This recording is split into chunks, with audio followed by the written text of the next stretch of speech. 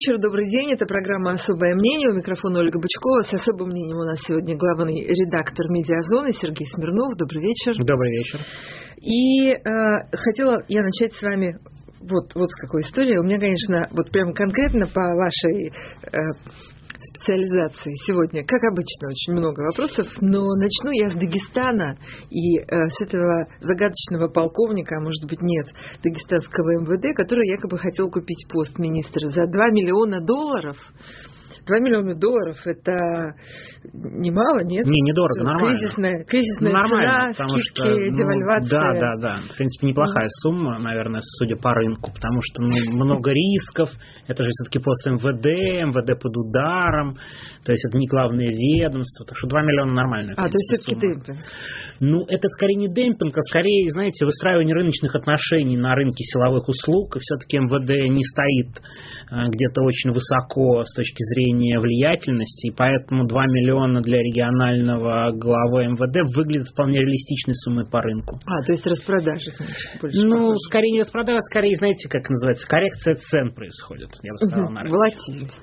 А скажите, пожалуйста, а вообще это на самом деле эта история выглядит правдоподобной с вашей точки зрения? Это не может быть какая-нибудь подстава, потому что там как-то все очень теперь мутно в результате. Вы знаете, э, всегда, когда смотришь на такие истории, сразу не понимаешь, подстава это или не подстава. Знаете, как называется? Тут может быть и так, и так.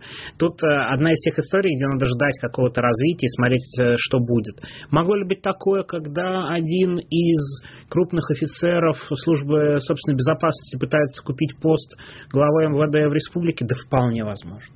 Да вполне возможно. Мы же понимаем, что СБ это одна из самых влиятельных структур внутри то, что такие вопросы часто решаются с помощью финансовых каких-то вливаний, это тоже не особый секрет. По крайней мере, знаете, это публично обычно все-таки не очень обсуждается, потому что доказательств нет, клевета, но между собой а, в каких-то условных кулуарах это, в принципе, такое, такие вопросы возникают, безусловно. Тут вопрос в суммах, вопрос в том, но в том, что есть коррупционная составляющая при назначении на какие-то посты, но это до сих пор не думаю, что это прям какое-то супер откровение. Не надо думать, что это прям что-то совсем новое. Такое, безусловно, существует в самых разных регионах, на самые разные посты.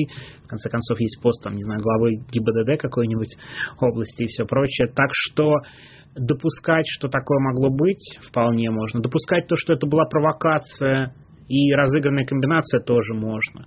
Проблема в таких делах обычно, что обе стороны сейчас закроются от СМИ, да, одни попытаются договориться, другие посчитают, что доказательств вполне достаточно, и правда мы рискуем вообще не узнать, что там было в этой истории. Но это, к сожалению, вывод такой постоянный, который мы все время делаем, обсуждая какие-нибудь самые разные сюжеты. Узнаем ли мы когда-нибудь правду? Не факт, что мы когда-нибудь узнаем, что там случилось на самом деле, потому что действительно инструментов узнать правду у нас, в общем, не очень много. Насколько э, правдоподобно тогда, продолжая тему правдоподобности, э, выглядит вот этот список так называемый Бабченко украинский, где якобы 47 человек, включая наших коллег, известных э, не только украинских, но и российских журналистов, вообще 47 человек в списке, и всех их должны были убить. А, тоже очень хороший вопрос, и отвечу примерно как на первый, в том смысле, ну смотрите, давайте рассуждать, во-первых, поступательно. Первое. Могли ли вообще такой список составить кто-нибудь? Мы же не знаем конкретно, о чем идет речь. Легко. Ой, легко. Вполне этих списков на нашей памяти, да, вот этих вот врагов России, там, наоборот, друзей России, всего прочего. Покажите, покажите вообще на- просто на, вот, пальцем на любого человека, включая нас с вами, кто не фигурировал бы в каких-нибудь из этих списков. Ну вот, вот именно, начнем как бы с этого. Так что вот эта традиция постсоветская составлять какие-то огромные списки и как угодно ими, как угодно их использовать, я вообще очень легко допускаю, что он мог быть. Второй момент. Теперь, что касается сами, самого да, вот этого дела, мы все равно уже упираемся в историю с Аркадием Бабченко. Знаете, но опять же, тут есть аргументы и за, и против сразу лично у меня, поэтому я постараюсь, э, как сказать, поэтому даже стараюсь не высказываться, пока хочется подождать развития, потому что, с одной стороны, ну, вообще доверия спецслужбам нет. Но это тоже не новость. Э, любое доверие спецслужбам, особенно когда они еще и так довольно странно изъясняются, доверия нет, с одной стороны, и потом, да, вот эти списки, они как-то странно появляются, то 30 человек, то 47, почему он вообще появился, если они все это хранили, так что доверия спецслужбам нет, причем, ну, нигде нет, на самом деле, не надо тут думать, что доверие американским спецслужбам или и там даже британским намного выше, чем нет, это как бы закрытые структуры, им нет смысла доверять никому, проблема же в контроле со стороны общества, да, чем э, лучше контроль, тем больше оснований там, э, считать какие-то выводы логичными. Да, и когда меньше контроля, а контроля нет особого ни у нас там, как мне кажется, не по делу Бабченко. Но чем больше контроля, тем больше, в конце концов, вот этих самых инструментов и возможностей докопаться когда-нибудь до какой-нибудь правды. Безусловно. Третий, вариант, третий момент. При этом ну, мы же понимаем, что заказные убийства А были, а в Киеве было уже убит, там Шеремет был убит. Мы же понимаем, что и в центре Киева был убит э, бывший депутат Вороненков. Ну, то есть убийства сами по себе были. Это же тоже для нас не какое-то откровение. То есть Это у нас не сказки, да? Не сказки. То есть есть некий набор э, знаний, которые у нас есть на данный момент. И проблема же заключается в чем? Что для очень многих история с Бабченко – это символ веры вот реальный символ веры. То есть факты особо никому не нужны, вот что произошло неважно, во что мы до этой истории верили, так мы и трактуем эту ситуацию. Как мне кажется, это одна из главных проблем всей этой истории. Хочется подождать. Насчет 47 человек, ну, я допускаю, что такое могло быть. Не могу сказать, что это выглядит уж очень убедительно, особенно, да, с учетом, как написан этот список, если вы видели, да, то маленькими буквами, то большими. Вообще, очень странно, ну, кто печатает так списки, да, ну, то есть, как-то, ну, как-то, ну, странно, да, ну, как бы, ну, не знаю. Где ну, штабная культура? Ну, да, да, ну, где это такое? У одного, у одного есть инициалы, у другого нет, но при этом я же понимаю, что стилистически часто так и бывает. В конце концов, концов, если говорить о списках, а, у нас же была группировка, не совсем связанная с государством, террористическая Борн, у которой были примерно похожие списки на самом деле. Другое дело, что там их не вывешивали, но там же были разные люди в этих списках. И, кстати говоря, к вопросу, мы там, да, я там долго обвинял спецслужбы, тем не менее, сам факт, Борн в России был разоблачен, был разоблачен, и причем с участием спецслужб. И аргументы, которые мы услышали на суде, выглядели вполне убедительно. Ну вот серьезно имеется в виду по причастности. А, хотя там да, там, хотя там счет 7-5 был, между прочим. Там был суд присяжных, был 7-5, когда было первое убийство Анастасии, э, Станислава Маркелова Анастасии Бабуровой. Там то сложная была ситуация, там был вполне себе прозрачный суд. Потом там были другие эпизоды, но тем не менее. Да, с убийством Немцовой ситуация сложнее, безусловно. Но, вероятнее всего, исполнители те, кто к ним причастен, их, они тоже же были найдены. Конечно же, вопрос к организатору и заказчику, и это вопрос к спецслужбам. Но мы же говорим о том, что заказные убийства очень сложные. Мы тоже должны понимать, что история с заказными убийствами очень сложная. Почему? Потому что есть исполнитель, есть организатор, есть заказчик, это уже цепочка, если она не длинней. А в конце концов цепочка может быть вполне анонимной, и вообще вот разоблачать заказные убийства крайне сложно и крайне сложно раскрывать. Мы же помним по 90-м, да, какое количество было заказных убийств. И об, обычно их, знаете, как интуитивно, там, в чьих интересах и что. Так что я бы не стал делать выводы. Вообще выглядит список э, несколько сомнительно но я бы не стал говорить, что это точно ерунда. Ну, вот он так выглядит. Давайте подождем подробности. В конце концов, дело идет. Посмотрим. Мне кажется, сейчас вообще очень рано какие-то выводы делать.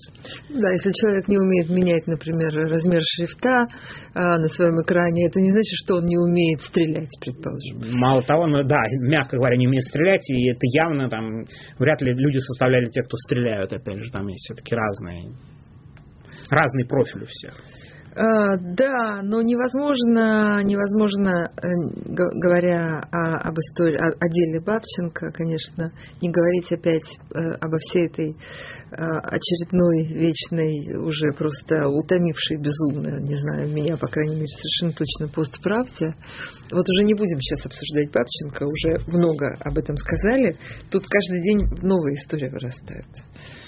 А, и вся эта история, например, с э, видеоблогером Соболевым, о которой э, мы с вами говорили перед эфиром, она прямо вот э, вот, вот просто я даже не смогла вспомнить никаких аналогов, потому что я помню, что было много такого. Вот просто такого было так много, что, э, что даже уже и подробности как-то стираются. Вот вы думаете, этот ком будет нарастать? Ну, я, к сожалению, считаю, что этот ком будет нарастать, э, в том смысле, что все больше... Проблема же в чем? Проблема в общем уровне подрыва, такой общий подрыв доверия идет ко всему вообще ко всему. Типа нет фактов, есть только трактовка. Такой классический, мне кажется, такой постмодернистский сюжет, когда ты вообще ничего не понимаешь, что происходит. Хотя на самом деле, если разбираться во всей этой ситуации, там ничего особо сложного-то нет. Другое дело, что вот эти сюжеты, они следуют один за одним. Э, вопрос репутации. Давайте довольно... напомним нашим угу. слушателям и зрителям, о чем идет речь, очень коротко. С Николаем Соболевым, да, он угу. позавчера, это очень известный популярный видеоблогер, который комментирует в том числе политические новости, он позавчера сообщил о том, что его избили, там, ну, все написали эту новость о, о том, что он сообщил, что его избили, ну, потому что у человека аудитория несколько миллионов, и, ну, странно было бы не писать такую новость. Странно было бы этого не заметить. Стран... Да. да, ну, то есть тут же проблема такая, если ты этого не замечаешь, э, есть основания тебя упрекнуть в том, что ты просто пропускаешь новости, плохо ориентируешься в повестке, на самом деле там живешь в 90-х и не понимаешь, что такие видеоблогеры. Это же тоже сложность. А вчера он сказал, что это был социальный эксперимент. На самом деле он хотел посмотреть на реакцию общества э, при сообщениях об избиении. Да? Мы сейчас продолжим обсуждать этот социальный эксперимент. Это программа «Особое мнение». Радио «Эхо Москвы» и компания RTVI представляют программу «Особое мнение». Мы продолжаем программу «Особое мнение». У микрофона Ольга Бычкова с особым мнением главный редактор «Медиазоны» Сергей Смирнов. А, ну, а с другой стороны, а что человек такого плохого сделал? Ну вот, да, действительно хотел посмотреть, как прореагирует, проверить нашу с вами черствость или чувствительность привлечь внимание, может быть, выработать даже у своей аудитории многомиллионной как бы привычку реагировать на такие вещи. Критически оценивать. А, наоборот, критически оценивать. Скорее, Нет, критически я... оценивать ага. информацию. Но это, это на самом деле, ну, как бы сказать, э, даже трудно сразу сказать, насколько это все манипуляция и некрасивое поведение, потому что, э, ну, ты же не устраиваешь перформанс в обществе, где все спокойно, где ничего никогда не происходит, где никогда никого не избивают. Э, тут такие ситуации, такие сюжеты происходят постоянно. Мы понимаем довольно часто, что это все не раскрывается, и уровень насилия насилия очень высокий, но надо признать, достаточно высокий в стране. И, конечно, еще и обман, еще и попытка э, девальвировать любое доверие к словам, которые, к, э, к людям, которые жалуются на избиение, там, на, э, там, там, на пытки, на все что угодно, это, конечно, очень... Его аудитория, в принципе, чувствительна к таким вещам? А, понимаете, я же, к сожалению, не могу оценивать его аудиторию как таковую, но... Мы же понимаем, что аудитория, в другая. принципе, вот как таковая, она чрезвычайно сегментированные. Это да? правда. Но проблема такая, что не надо тоже преувеличивать полный отрыв аудитории друг от друга. Мне кажется, это тоже не совсем так. Все-таки мы все равно живем более-менее все-таки в одном обществе, и люди периодически с собой общаются. Но мне кажется, это такая довольно сложная тема мне кажется такое поведение крайне некрасивым. Ну, но при этом я даже не могу осудить, да, вот в конце концов для видеоблогера важнее хайп, обманывает он свою аудиторию, не обманывает. Но в смысле, тут... работа у него такая? В том числе. Но, знаете, я тут Нет, ну, хочу... Ну, понимаете, когда мы говорим про Бабченко, да, там есть мощный оправдательный мотив потому что было ли, э, была ли угроза жизни, не была ли угроза жизни, но если даже минимально такой разговор возникает, то, конечно, э, человек имеет право спасать свою жизнь там, и э, покой своей семьи всеми доступными ему способами, особенно если ты имеешь дело со спецслужбами. А, тут понятно, а тут-то нет никаких оправданий вообще. Это тут нет просто оправ... хайп на ровном месте. Конечно, тут оправданий именно такого рода нет, но есть другой разворот, зато мы говорим о том, что все могут манипулировать, никому особо не верьте. Да, вот я вам могу показать, э, и вы в сутки будете обсуждать, там несколько миллионов человек, э, фейковая фейковую новость. Может быть такое оправдание, никому не верьте, вообще никогда ни в чем. И на самом деле это совершенно ужасно. Мне кажется, основной тезис постправды, и это, конечно, ложное утверждение. есть ли противоядие таким вещам, и будет ли оно выработано. Потому что вот у меня, например, такая совершенно оптимистическая точка зрения, что это просто ну, какой-то новый уровень развития там, цивилизации вообще и, и, и информационной культуры в частности. И просто, ну вот мы все как человечество, как потребители, как производители информации просто столкнулись с новым явлением, там не первым в истории человечества. Ну и просто надо как-то это переварить, пережить. И, в общем, постепенно э, люди не идиоты, работы, и постепенно способы верификации, там, способы оценки, способы восприятия информации рано или поздно все равно как-то этими организмами выработаются. Ну, мне это кажется, это и сейчас уже есть на самом-то деле. Да? По большому счету СМИ работают, там качественные СМИ работают по таким правилам и законам, и на самом деле, если посмотреть про новость про того же Соболева, большинство там, качественных нормальных СМИ написали новость в стилистике «он сообщил о нападении». То есть, ну и что сообщил?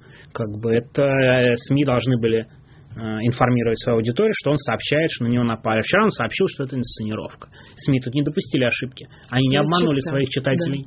Да. Это постепенно должно приучать аудиторию к восприятию Э, да, расставлять слова, да, какие-то выделять акценты, да, мне кажется, Соболевым теперь больше никто о нем новость никакую не напишет, э, по крайней мере, значительное количество СМИ больше никогда не доверят ему после такой истории, и с этой точки зрения э, это тоже важный показатель, или в следующий раз напишут новость, да, если он еще раз сообщит об избиении, там, да, в прошлый раз солгавший видеоблогер Соболев опять сообщает, что на него напали. Да, ну как бы а, это... Хотите верьте, хотите нет. Ну вот, да, э, задача, как за, хотите. именно, задача СМИ же информировать, а аудитория в любом случае постепенно, я думаю, сделает вывод, ну, безусловно, сначала не все, мы вообще живем в очень большом таком информационном пространстве манипуляции, тоже не секрет, довольно долго, если учитывать телевизор, и, конечно, это сложно все преодолевать, мне кажется, это тут тоже, вот эти вот постоянные манипуляции, это очень большая проблема для общества. Вот это вот выкрикивание в пространство. Вот, например, сейчас, э, когда, в общем, все мы как-то с болью в сердце, конечно, наблюдаем за тем, что происходит э, с Олегом Сенцовым, и тут же очень много, да, какие-то там акции в европейских столицах, э, какие-то слова на кинотавре. Вот Юрий Сапрыкин оттуда вернулся вчера, вот сидел вот на вашем месте, рассказывал об этом. Какие-то какие призывы там и всякие штуки в интернете и в социальных сетях. А при этом мы понимаем, что вот то вот высшее божество, которое сидит там где-то в облаках на своем Олимпе, и от которого, в общем, как все говорят, единственного зависит это решение, отпустить его, не отпустить, обменять, не обменять, там, ослабить эту хватку или не ослабить эту хватку, то мы же ничего не знаем о реакции э, этого, э, вот этой силы вот высшей, которая там сидит и смотрит. Есть какие-нибудь признаки того, по-вашему, что все-таки этот информационный сигнал доходит куда-то. А я думаю, он давно довольно-таки дошел. Это не новость, и он не первый раз дошел. И, и вообще у меня есть свое представление, почему так происходит именно с Олегом Сенцовым почему? в его деле. А, я полагаю, что изначально в 2014 году, когда произошла вся эта ситуация, а, люди ну, просто преподнесли эту историю как то, что Олег Сенцов реально планировал и был организатором будущих терактов, это было доложено как абсолютный факт. И при всех ситуациях с Сенцовым а, вся ситуация, она через призму вот этого тезиса и рассматривается. И это есть, очень большая проблема. То есть жалкие ютуберы просто курят в коридоре. Конечно. Вот по абсолютно. С вот абсолютно. В том-то и дело, что вот эта проблема, что вот один раз было доложено, никто же внимательно не следит за процессом, за тем, как он идет. Вот один раз доложили, что этот факт есть. Этот факт и вот, да, как факт, преподносится уже 4 года, и в этом, безусловно, огромная проблема ситуации с Олегом Сенцовым. Мне кажется, возможно, это и главная проблема, что до сих пор нет ни обмена, ни размена, ничего подобного в том, что вот эта информация была донесена именно в таком виде. Это, это очень большая сложность, да, а, как-то пробить стену, потому что, да, ну человек, как, как можно отпускать человека, который там организатор трактов? Как можно отказаться от своей точки зрения и сказать, да, мы тут были неправы? Никак. В том-то и огромная проблема России. Силовики не могут отказаться от своей точки зрения, и они всегда ее постараются максимально долго отстаивать максимально долго отстаивать.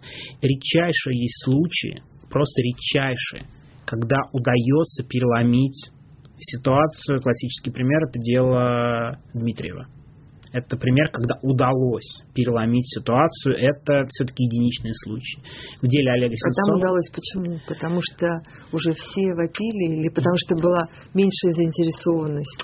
Я думаю, там уровень а, людей, заинтересованных посадить в тюрьму Дмитриева, оказался не настолько высоким и настолько авторитетным на 100%, что позволило бы убедить Путина в том, что вот это абсолютно истина, да, то есть, э, ну, не, не те люди пошли объяснять, что это так, или они на кого-то валили, да, а в деле Сенцова, похоже, именно так. При этом были же другие фигуранты, там была Надежда Савченко, но я подозреваю, что к ней подошли, как, условно говоря, к женщине в этой uh-huh, ситуации, uh-huh. со схожей ситуацией, но, так, но все-таки женщина, да, ну то есть там же все, есть, безусловно, все равно некие свои правила поведения и правила принятия решений. В деле Олега Сенцова я очень опасаюсь, что вот то, что было 4 года, оно остается главным, основным и главным движущей такой силой всей этой ситуации. Потому что мы очень много раз слышали про обмены.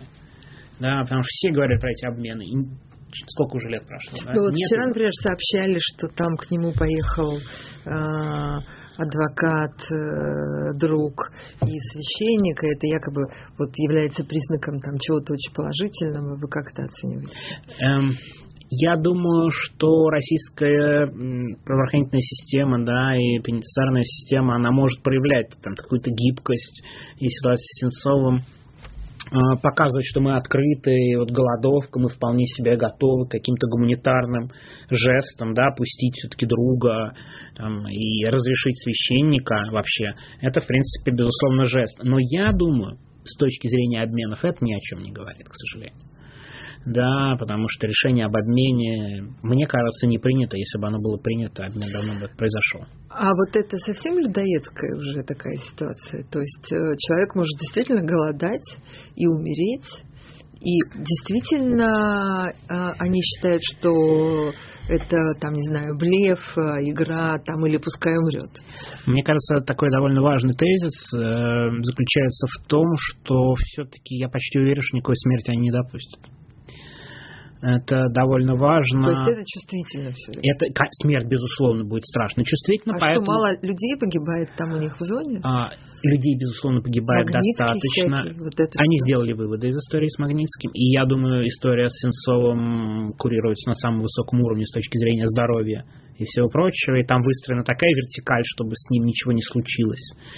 А, что вот думать о том, что про Сенцова все забудут, и он умрет от голода, ну, это, я думаю, практически невозможно. Ему будут колоть лекарства, ему будут вводить там терапию, и это может продолжаться достаточно долго, месяцами, скажем так, может продолжаться такая ситуация. А в чем проблема, что она продолжается месяцами? Чем дольше это происходит, тем меньше внимания. Это правда, она начинает так тонуть, да и, собственно, каждый день нам приносят какие-нибудь очередные ужасные новости. Конечно, в этом и, и каждая тактика. новая э, история ужаснее предыдущей, как правило, оказывается. В общем. И тут очень, очень такой циничный вывод заключается в том, что голодовка, которая раньше была таким отчаянным ходом, она сейчас не имеет прям настолько особого практического смысла, поскольку современные медицинские средства, возможность контроля сделают так, что что человек не умрет, о нем постепенно будут все меньше и меньше писать. Это очень сложная история. Но... Это ужасно, на самом деле, звучит. Да, это звучит ужасно. Между прочим, у заключенных отобрали и прямо на глазах отбирают, может быть, один из самых главных, возможных отчаянных а, жестов, которые они могли себе позволить. Потому что ну, голодовка это самый отчаянный жест. И по большому счету получается, что отбирают и именно сейчас его у них прямо то есть человек совсем ничем не может распоряжаться, Нет, в том числе собственной жизнью Нет, и собственным может. телом. А, мы прервемся на э, небольшую паузу. Это главный редактор «Медиазоны» Сергей Смирнов в программе «Особое мнение».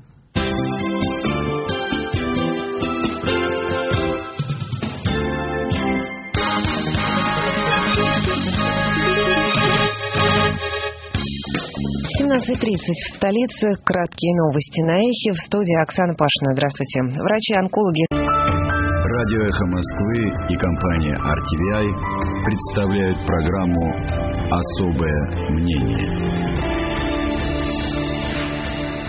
Мы продолжаем программу «Особое мнение». У микрофона Ольга Бычкова с особым мнением главный редактор «Медиазоны» Сергей Смирнов. Вот э, я уже говорила, что вчера вот в этой же передаче был э, Юрий Сапрыкин. Я у него спрашивала, сейчас скажу, что. И у всех спрашиваю об этом потому что я все равно не понимаю, у меня не укладывается в голове. Вот все вот эти вот э, безумные меры так называемой безопасности и всего на свете в связи с футбольным чемпионатом ну, не будем перечислять там все эти кошмары с отключением газа, которого не произошло, по-моему, в Екатеринбурге, еще там что-то, того нельзя, всего нельзя. А, но а, эти несчастные студенты МГУ, которым теперь шьют дело и уголовное из-за того, что они там что-то такое нарисовали на каком-то плакате, угу. Угу, которые против фан-зоны а, и, и, и прочее вот это вот. Это вот почему так? Почему все вот совсем уже сошли с ума? Настолько ад, да, вокруг чемпионата? Да, ну, ну как бы, ну, ну предел должен быть какой-то. Нет, в том-то и дело, что, знаете, как есть уровни какой-то опасности, да, классической террористической опасности. Мне кажется, чемпионат мира в зоне такой красной с точки зрения организованности и чтоб ничего не произошло. То есть вот, вот тут было 50 совещаний, там на 20 из них, возможно, присутствовал Путин и сказал, чтобы ничего вообще не было. Каждый у меня за все это ответит. Но я примерно рисую себе картину в том смысле, что для властей проведение чемпионата мира без эксцессов, чтобы огромное количество болельщиков приехало из-за границы, чтобы ничего не случилось во время этого, является там супер приоритетной задачей. Прям вот просто задача максимум. Все спецслужбы, все силовики сейчас в таком напряжении, что мы придумаем любые способы, чтобы минимизировать какие-то угрозы. Все, что угодно сделаем все что угодно сделаем. Сегодняшнее задержание э, координатора питерского штаба Навального, я думаю, она к этому же относится. На время чемпионата мира всех закроем, подальше. Не дай бог они будут проводить какие-нибудь акции. Вот, вот это все пройдет. Потом... Я, я прошу прощения за свой смех. Это совершенно не смешно, когда человека закрывают. Но это смешно с точки зрения логики. Потому что уже, ну где Навальный и где футбол, прости господи. Ну, не говоря уже о том, что сам Навальный сидит при всем при этом. Это называется «не дай бог хоть что-то случится». Это самое, сейчас это просто главное главная боязнь любых силовиков на любом уровне. Не дай бог в нашем регионе мы что-то пропустим. Мы лучше перекрутим гайки, мы лучше отключим газ и все что угодно. Это знаете, как когда... Это же на самом деле история схожая, когда Путин приезжает в какой-то небольшой город, и там, знаете, как запрещают подходить к окнам, там все напалмом выжигают просто. Сейчас то же самое, только в пределах страны в течение месяца. Ну да, как бы супер меры безопасности. Я уж молчу, что происходит с футбольными фанатами известными и людьми, там, связанными с каким-то футбольным насилием, вот они в еще большем напряжении, поверьте, мне кажется, даже чем оппозиция. И перед чемпионатом мира находились, и потому что... А их тоже сажают куда-нибудь? А, мы пока не знаем, потому что информации особо нет, но то, то, что спецслужбы и силовики с ними работали на протяжении года, угрожали. Воспитывали. Вы знаете, когда была драка э, английских э, да, и российских болельщиков, и когда медиа говорили, ой, как хорошо и как здорово, это все была такая внешняя картина, какие мы молодцы, да. Я думаю, там полицейские, те, кто э, организует безопасный чемпионат мира, схватились за головки. А если у нас какие-то драки будут, не дай бог. А что такого? Ну, подерутся. Они всегда дерутся, Нет, подумаешь? Мировой скандал. Нет, Россия ну... не смогла обеспечить меры безопасности. Ну, это же обычное дело. Нет, такое невозможно совершенно. Это там, на загнивающем Западе, фанаты могут драться из-за того, что очень плохо работают службы безопасности. У нас это совершенно исключено, поэтому не дай бог. Строим вот. То есть, вот это главная угроза. И сейчас, думаю, риски будут такие, что э, я думаю, что меры безопасности будут гораздо жестче, чем все даже представляют с точки зрения организации. Мы еще посмотрим, но я думаю, что будет максимум э, направлен на то, чтобы ничего, не дай бог, не произошло. Это, конечно, будет своеобразно выглядеть, полагаю. А это по-настоящему происходит? Или все-таки можно сказать, что вот в каких-нибудь подобных случаях в общем, там, ну, Олимпиада, там, я не знаю, что, там, митинги, э, коронация, вот, вот у нас, вот я имею в виду, э, всегда такие всплески? Или все-таки в целом вот не, этот не, думаю, наверх? Не, не, не, думаю, всегда такие всплески. Если сравнить, то можно сравнить перед Олимпиадой 80-го года, да, когда вообще всех подозрительных выселили, да, вообще всех, кого можно было выселить. Ну так правильно, это был 80-й год. Вот, вернулись, а 80-й год, что вернулись. Это правда, это все Не выглядит... прошло и десятка лет. Безусловно, но это когда происходит мировое событие, за которым следят миллиарды людей во всем мире, тут, конечно, престиж и то, что на тебя все смотрят, конечно, для властей очень важный фактор. И думаю, тут безопасности, вопросы безопасности будут ну, не меньше, чем на Олимпиаде в Сочи. А я-то думаю, больше, городов больше. Кстати, обеспечить безопасность сложнее гораздо больше приезжих будет футбольных да. фанатов. И прям их же будет очень много приедет, да, и как бы и передвижения, и инциденты, это все надо отслеживать, поэтому там, красные, красные угрозы, я думаю, там все силовики сейчас все в душе проклинают, как, будущий, как они будущий месяц будут работать 24 часа в сутки с усиленными дежурствами Вместо летом. Того, чтобы... Причем заниматься какой-то абсолютной ерундой, ну надо, это все вот будут все переоденутся в какую-нибудь гражданскую одежду, и все будут это патрулировать, э, сопровождать и все прочее. И как бы я уверен, что для них как раз совершенно страшное время начинается без отдыха, без отпусков. И как бы... Я не знаю, как вы относитесь к футболу, Хорошо. могу не спросить вас. А, а вот оно вообще стоит того? вот, вот это все. А, тут, ну тут какой вопрос? Тут же вопрос еще и, э, если бы чемпионат проходил в другой стране. Там есть же культура а, отношения к таким большим спортивным мероприятиям. Она у нас помножена еще и на культуру нашей власти, еще и на принципы работы. Это прям большое, очень, большое событие, которое будет. С другой стороны, все прошло бы, наверное, более расслабленно. И, кстати, возможно, были бы инциденты. У нас, мне кажется, вариантов инцидентов и каких-то столкновений меньше даже, чем на Западе. Но ну что значит того стоит? Это, ну, это такая реальность. Это такая, знаете, как называется, на самом деле чемпионат мира проходит в условиях там, политич... российской политической культуры. Вот у нас она такая. Вот надо перед всем миром показать, что мы можем это организовать там ну, на 100%. это Потемкинские деревни, конечно, в основе. Это, это и есть такая политическая, российская политическая культура, но это правда, вот она такая и есть. И, но, но это этом... вот покраска травы в зеленый цвет это и особенности. Там, да, это фасады особ... из бумаги. Да, но при, да, но при этом, и, но при этом же, ну, это с одной стороны. С другой стороны, организовано, я думаю, все будет достаточно хорошо, как мы видели в Сочи, были хорошо организованы игры, безусловно, и я думаю, что чемпионат мира, потому что происходит, э, я вполне допускаю. Знаете, как власти говорят, зато работает, ну не без перегибов, но зато работает же. Ну немножко перегнули в безопасности, перекрасили траву, но зато как красиво все вышло в целом. Ну, Работает. Да, красиво. Тут всегда люди выбирают баланс. Угу. Ну да, с другой стороны, видимо, всех все устраивает, раз все, в общем, готовы жить. Ну, типа, месяц потерпим, потом будет легче. Угу. Зато праздник. Потом отдохнете. Зато, Зато праздник, праздник, праздник на десятилетие же. Дес, на десятилетие все это запомнят. Э, хочу напомнить нашим слушателям, которые живут в Москве, например, или сказать, если вы об этом не знаете, что послезавтра э, будет э, благотворительный аукцион мемориала в поддержку детей политзаключенных. Он будет происходить в китайском летчике послезавтра в четверг вечером. Каждый раз, ну, я все время хожу на такие мероприятия и стараюсь там какую-нибудь копейку лишнюю оставить. То есть понятно, что там кто-то может дать больше, кто-то может дать меньше, да, и мне, не мне вам объяснять, что рассказывать, вернее, что тут важно не сумма, а участие, конечно. Чем больше людей, Безусловно. тем лучше. Да.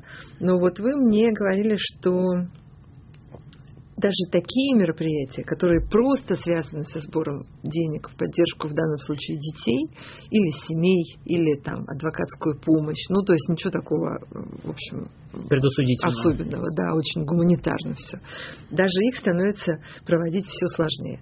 Это действительно так? Да, это правда. Их становится проводить все сложнее, все сложнее находить помещения, все сложнее находить людей, которые там согласятся. Даже вот для таких сугубо филантропических. Даже для таких сугубо филантропических. Почему? Потому что для центра Э там, или для ФСБ это сбор неких подозрительных людей в одном месте в большом количестве благотворительность, не благотворительность, а начальство сказало, иди разрабатывай, сделай так, чтобы они не собрали. А тут еще чемпионат мира, я, кстати, поэтому вообще посмотрим, как это все пройдет, но тут, опять же, сложность допускаю вполне, потому что ну, очень много, когда не очень лояльных людей собираются в одном месте, даже с сугубо благотворительными целями, а силовиками это рассматривается как некая угроза. Это, конечно, очень плохо и совершенно отвратительно выглядит. Подозрительно очень. Очень. Ну, отвратительно давление это выглядит, когда там на людей собирают деньги, ну, как бы и на детей политзаключенных выглядит это не очень хорошо. Ну, у силовиков своя логика, ну, у всех своя логика. У них логика такая, зато вы там соберетесь, проводите там антиправительственные мероприятия. И это перед чемпионатом мира.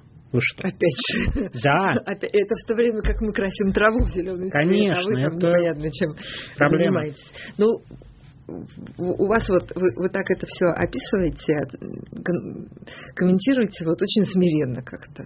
Или я не знаю, как Не, философически. Не, не, ну а тут как? Тут же не вопрос смиренности. Тут ты живешь в этой реальности, ты ее понимаешь именно таким образом. Да, ну вот как бы это, это данность, которая есть на данный момент, вот она такая. Нам, конечно, безусловно, нам не нравится, но давайте честно скажем, взять сейчас ее и сломать, да, но это же невозможно именно на данный момент, именно такую систему. А Это- ее ведь не удалось сломать, да? Вот Конечно. в 90-е годы. Нет, не удалось. Ее же точно не удалось сломать. Абсолютно. Мало того, в 90-е годы новая власть очень быстро стала использовать э, старые... ми- Приспособила под себя. Конечно, старый механизм. И, кстати говоря, в этом плане у меня нет иллюзий, что при смене власти в России все может быстро и резко смениться. Есть такая не самая лучшая русская политическая традиция. Э, Ну вот то, что сейчас происходит, на самом деле это довольно пошло сравнивать, но правда похоже там, на то, что происходило в 19 веке. Это так, такая история в 20 веке. Ну вот это вот особенность. Почему Очень сильная власть. Мне кажется, там вот э, Ну, я не знаю, всегда с ГУЛАГом пошло сравнивать, а с 19 веком нормально. Ну, всегда, знаете, сравнение всегда кажется такой натяжкой. Ну, я как человек, как историк могу сказать, что это всегда кажется натяжкой и притянутым за уши. Но, тем не менее, ну, это же правда так, очень сильная власть. Силовики, которые хотят выслужиться перед властью и всячески зажить любую свободу. Не, для того, не потому, что они очень против этой свободы лично. Они боятся, что сли- если будет слишком свободно, они получат по голове от власти. Тут же вот такая логика действует. И она всегда примерно так и действует. Эксцесс такой, такого исполнителя, который бежит доказывать, сделать так, чтобы, не дай бог, от не... который э, террористов боится меньше, чем начальника. Абсолютно точно так. Это очень большая проблема. Сергей Смирнов, главный редактор «Медиазоны» в программе «Особое мнение». Спасибо вам. Спасибо.